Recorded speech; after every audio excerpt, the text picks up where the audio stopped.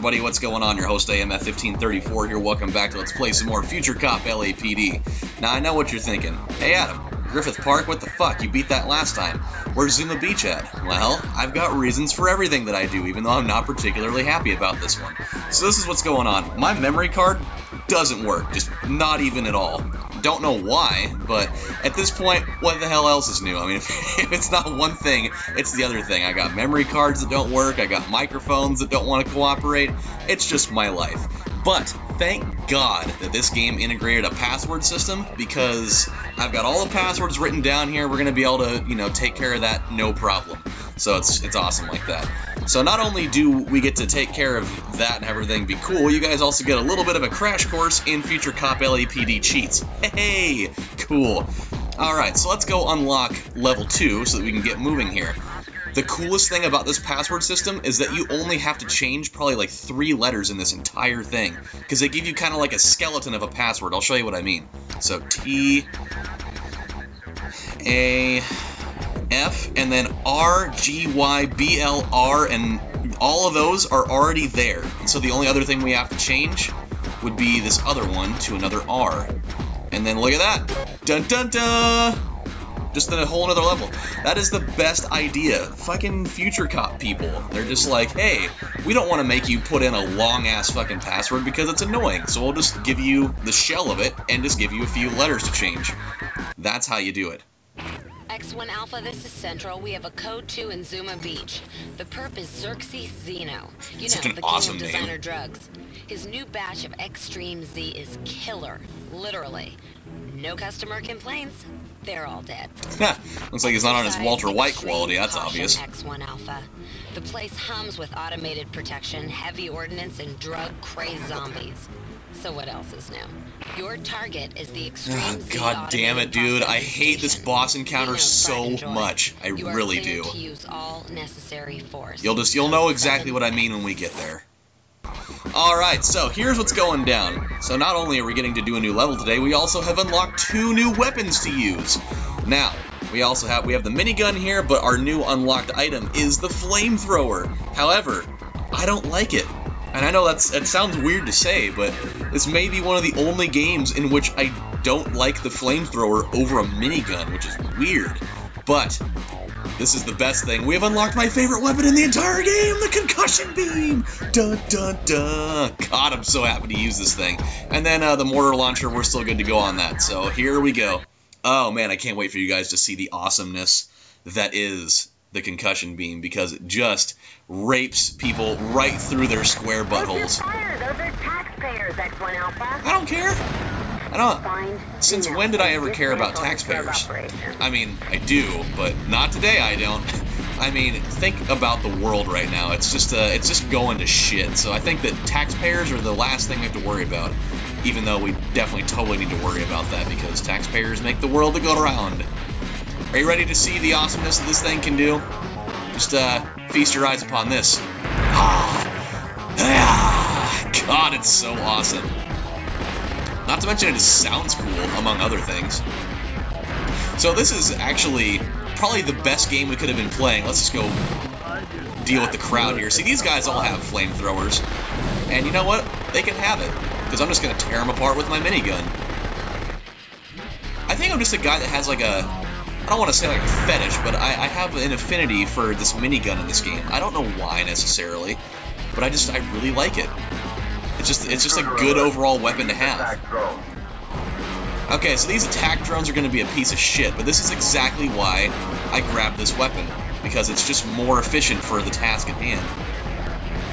And we get a little bit of a power up for it right out the That's gate, so weapon power up. let's just uh, let's exhibit some power here.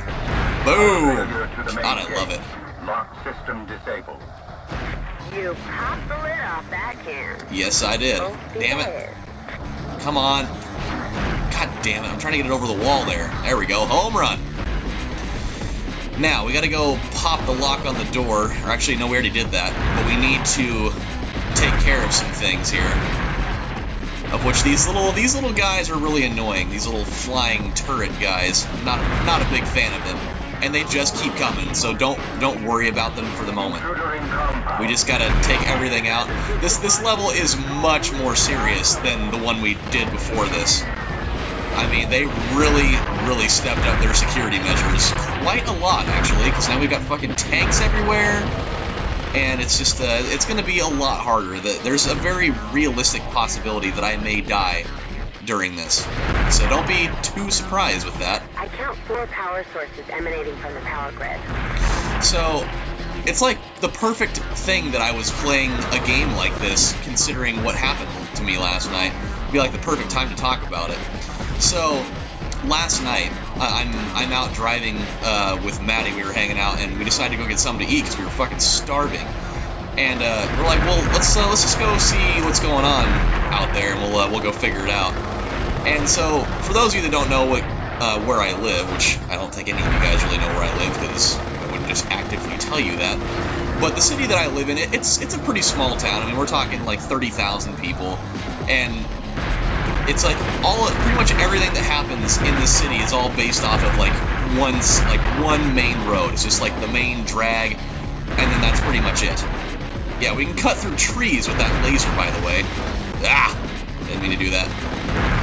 Yeah, just just so we're clear here, if you accidentally go in the water, you you uh, change into a car, which is weird. You'd think that you wouldn't want to do that. That's a gun weapon power up. Okay, so now we're gonna want to use our little uh, little shield reloader here.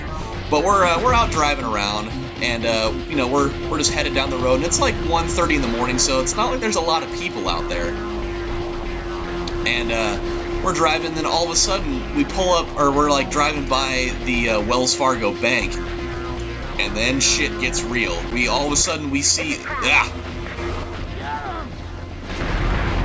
Yeah, dude, this is this little area is very problematic. I don't know how it is that these guys are not getting totally electrocuted in here. Like, look at the look at those big, huge balls of electric matter just flying around. How are these guys not totally dead? Let me just get up here really quick. Ah, fuck. We will do it. We'll get up here. I promise. There is a, there is a way. I just I don't remember exactly how to do it. Ah, fuck. I think oh that's what we have to do. That's right. Yeah, I remember now. Let me let me do this really quick and then we'll talk about the rest of my story.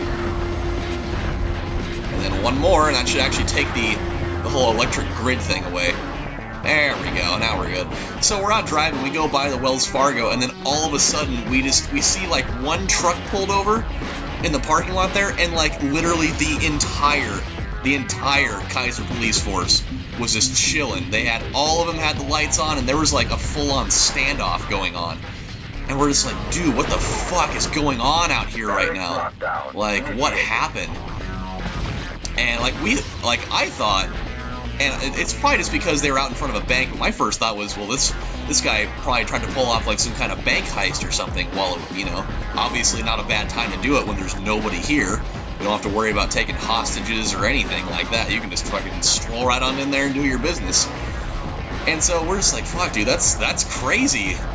And so we just decided to keep on going, so we didn't want to get in the way of anything, especially if there was going to be like gunfire going off. That's like the last place you want to be. override the lockdown.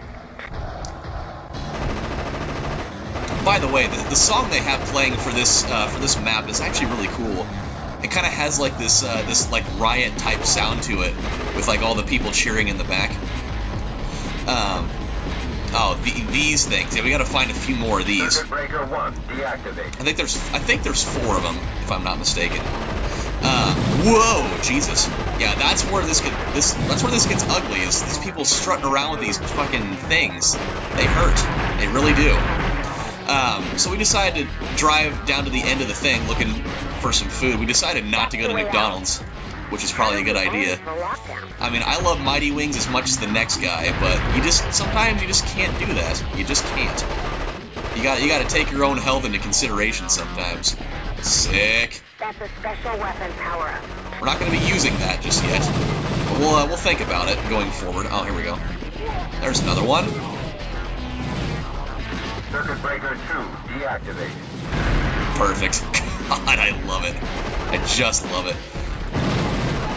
Oh shit! God, these guys are just fucking everywhere. So we decide to uh, come back down the other way, Circuit breaker 3, deactivate. and uh, we still we still see them there, and we're kind of getting a little bit uncomfortable about it now. We're like, well, what the fuck? Like, why? Like, why is this going on? Like, if it was if it was that bad, and there was only one guy in the car, so but we saw like one cop just like bolting it down the street like on foot.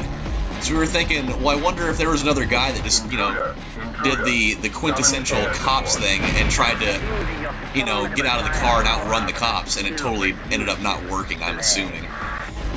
But uh, we come to I come to find out later this morning because I posted a picture of it on Instagram, and uh, one of my friends, his dad is like the head of the Kaiser Police Force or something like that.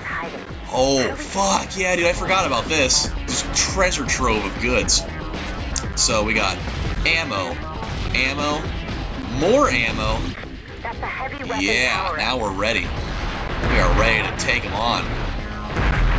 Even as big as those things are, they just can't even handle this at all, which is great. All those jets are in the air. Let's, uh, let's take care of these guys real quick. There we go. So yeah, I come to find out that there was actually like a full like a full scale murder that happened that day. Oh my gosh. This guy just won't leave us alone for a moment. And if you want to play hardball like that, we can totally play hardball. I think I'm a little bit better equipped for that. Because I've got my power lasers right now. Good going. Yeah, you're damn fucking right, good going.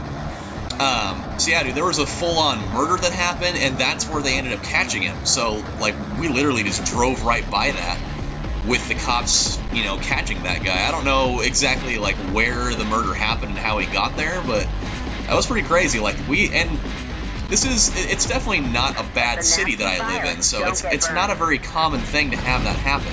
Like, murders are not a regular occurrence in this place. Watch out. Fuck, dude. Yeah, this is this is not a good place to be. We're gonna we're gonna mess around with this just a little bit because there's definitely a lot of shield stuff to be had here. So we can, if we need to, we can we can definitely be okay. That was fun. Uh, not necessarily. Come on, there we go. That's a gun weapon power up. So what we're gonna do is we're gonna go back. We'll go back to the area that we were just in a couple minutes ago, and we'll go get that shield just because it's there. Oh, here we go. Nice. Didn't really need it, but we might as well take it. We're actually pretty close to the boss fight, now that I think about it. It's not exactly a very long level. It's just a little bit more hectic than the rest of them. But yeah, it's just uh, you don't really see that kind of thing happen too often in this area. Oh, ah! Yeah, mini boss fight. This is not the main one.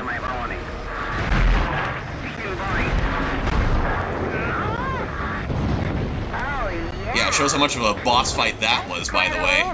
It was pretty much nothing. Nothing at all. Okay, so here's what we're gonna do.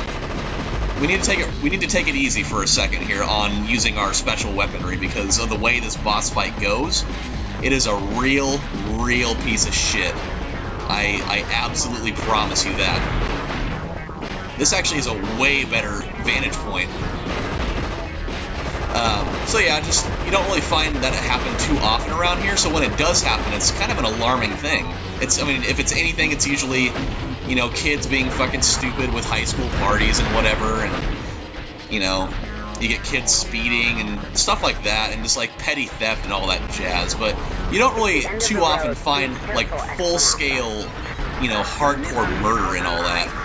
So it was, it was pretty crazy just to just to find out that we were driving just right in the vicinity of that whole thing.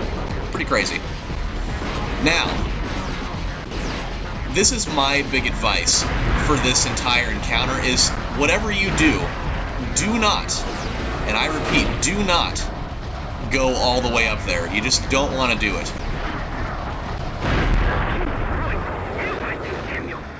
At least I can take you with me. Okay, so we blew up the little generator thing here.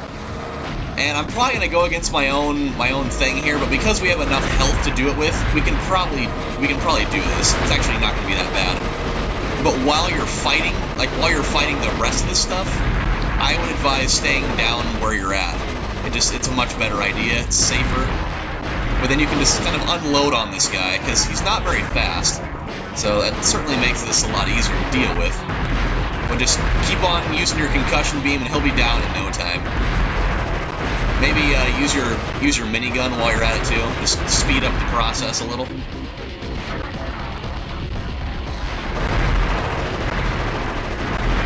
And there we go. Just like that, he is gone. I don't think anyone will miss his house calls. Ah, probably not. I mean, he's definitely, obviously not the best designer drug maker, because he likes to fucking kill people with it. Nice work, X1 Alpha. Looks clear. Over. Then again, Nine Chopper 2, looking good, I'm not sure, really, if What a sight. if uh, th that Xerxes Zeno guy is necessarily the culprit here. I mean, he is, because he's... I forgot about that. That was funny. I always forget that that happens there. But I mean, I get it. He was making, you know, illegal designer drugs, and obviously that's against the law. But I mean, those drugs, if you probably just if you just take them the way that you're supposed to take them, maybe they're not in, entirely that bad. It's just that obviously when you get druggies and whatever, they're gonna just take more of it and more of it, way more than they're supposed to because they're addicted to it. But uh, you know, whatever. So with that all out of the way, my friends, this is what we're going to be doing next time on Future Cop LAPD, as we actually made pretty quick use of that. I usually, every time I play this game, I usually die on Zuma Beach at least once, so I'm actually really, really satisfied with that. We're going to be heading off to the iconic La Brea Tar Pits.